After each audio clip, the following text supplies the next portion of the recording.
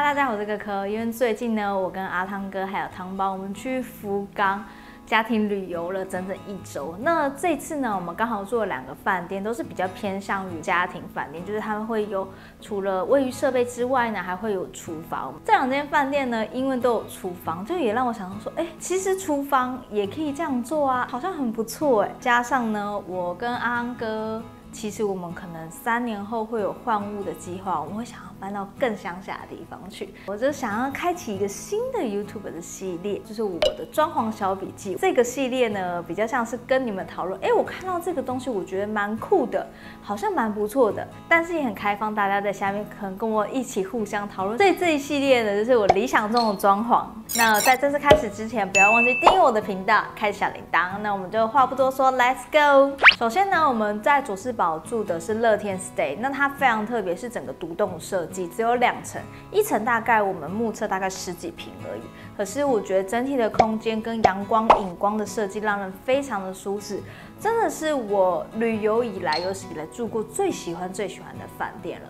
那我特别喜欢它的厨房的设计。我们现在住的这家，因为建商当初预测就是人造石，加上台湾还蛮多厨房的设计，基本上都是用人造石或者是石英等石材，所以我们都会自然而然的就会想到说，哦，我如果要做厨房的话，就要用石材的材质。但是我们这次入住的地方呢，我们发现它的厨房的系统柜的台面呢是整个用不锈钢的台面，然后加上它做一些强化防刮处理，使用下来我觉得清洁上面很方便，也没有。像是人造石会有染色的问题，所以让我真的还蛮惊艳的。然后他们的餐桌配的就是木质的餐桌加长凳，这当然就是坐起来很舒服。我想表达的是，不锈钢配深蓝色的系统柜的板门，原来可以让厨房的质感也是让人感觉蛮惊艳的。我会未来如果有机会的话，也会蛮想考虑看看用。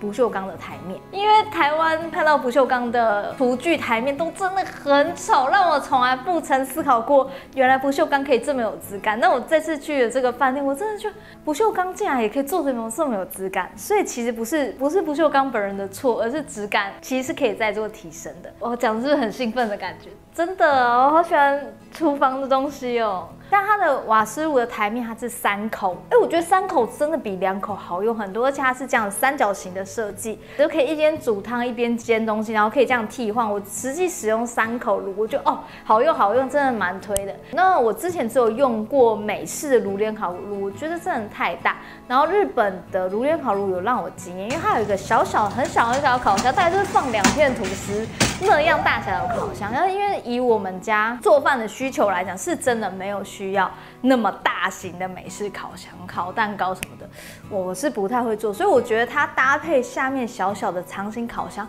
我觉得很实用啊。你想要烤个面包，或是只是想要烤一条鱼，对我来讲那样大小刚刚好，这样就够了。三口瓦斯炉加一个小小的烤箱，我觉得哇塞，惊艳，觉得很好用。在这边顺便分享一下，我之前在图书馆。借阅到两本书，我觉得对于生活家事的处理真的是蛮有帮助。一本是料理研究家的厨房家事小百科，另外一本是料理研究家的餐桌生活学。这两本书呢，主要是教你怎么处理，就是例如说当季的食材，哪些食材适合怎么样腌制，那它是怎么样处理？例如说鱼，你要怎么处理，然后让它保持新鲜。我觉得这类的其实是非常实用的资讯。可是其实我们从小到大好像没有人特别。分享这类的生活资讯给我们，所以这两本书我还蛮推荐大家的。可以可以反过来回头思考说，哎，你的生活模式是怎么样？是不是有哪些东西可以再调整，让你生活在这个家是更舒适的？那我会提到这两本书呢，是因为其中有一页有提到一个内容，我觉得非常有意思，我还把它拍下来，然后纳入我的装潢笔记本当中。他有提到他的冰箱总共有三台，乍听这样说，为什么正常人需要三台冰箱？大部分一台冰箱就好了。可是我经过疫情这段时间，还有家里有小孩之后，我真的觉得。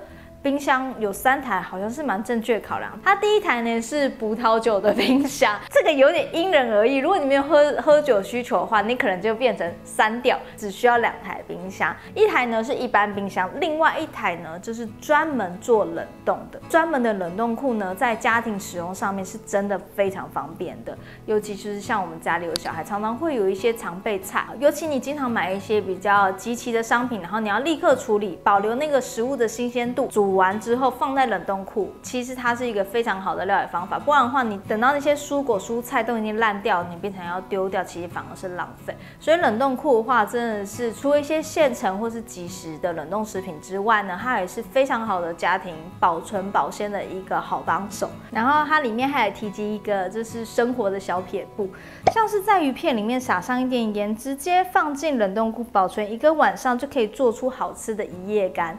哎，一夜干竟然是这样做出来的！我也是看这本书才学会了好多有趣的小知识。你学这些小撇步呢，会让你每次料理都会更顺畅，然后你会更喜欢待在你的厨房。第三个呢，是我之前在 How Cook 好饿厨房粉团上面看到的。那因为他本身是料理热爱者，所以他厨房层架有一面呢是专门摆了各式各样的锅具，应付他的料理需求。但是呢，我对他设计摆置酒杯。跟葡萄酒架的一个小层架是特别有兴趣，我觉得哇，好聪明哦，竟然可以这样做哎！会让我蛮惊艳的是，因为原本 IKEA 设定那个层架是可能是放在地板上啊，可是呢，他把它当成厨房电器柜台面再往上。一层摆放东西的层架，我觉得这是另外一种思考的方式，然后也蛮聪明的，因为它有很多孔洞，它还顺便设计了，就是可以让它放玻璃杯架以及放葡萄酒架。这些东西呢，它全部都是在 IKEA 买。我觉得呢，多去看别人的摆放方式，真的会对于你想要设计你自己的家，或是你对未来的装潢期待，会有另外一些想象。原本。以为全部都要用系统柜去做堆叠东西，后来发现其实取代的方案也蛮多。我觉得这就是为什么我超级喜欢去研究别人家的厨房。像是我有个朋友家呢，因为他的厨房就是比较属于传统封闭式的厨房，所以他后方电器柜上方啊，它是装升降拉篮，就有一些好处。像我这种矮个呢，就够不到上面的话，就是拉下来就拿到，真的是会增加厨房杂物的使用率。但是缺点是它会吃蛮多的空间，你可能东西真的只能放一些调味料，不太可能放一些锅具等等这种比较大型的东西。我觉得真的好喜欢多去看别人家的厨房长什么样子，因为对我来讲，使用率最高呢就是厨房还有浴室这两个，就是我特别希望希望在下个家能够再微调，然后再更贴近我们生活的地方。那今天呢，简单的分享就到这边。下一集呢，我想要分享是关于浴室篇的，因为我觉得这次住的两间饭店。浴室有好多点让我觉得很惊艳，然后也就觉得哦，原来有这样的设计哦。例如我们住的佐斯堡那间饭店，哎，它因为是两层嘛，所以它在客厅呢有一个设置的按钮，你可以从二楼就按钮，然后帮一楼的浴缸放水，这什么神仙设计？非常的棒，我觉得哇，这个好值得跟你们分享。下一集梦想中的装潢呢，就会针对我觉得哪些很棒的浴室设计来跟你们分享。那我是个科，如果喜欢的话，或者是有什么想讨论的话，或者是刚刚讨论哪些东西，其实你实际使用过，你觉得没有这打咩，这太 NG 了，你可以在下面留言跟我分享。那我是科科，那我们就下次见喽，拜拜。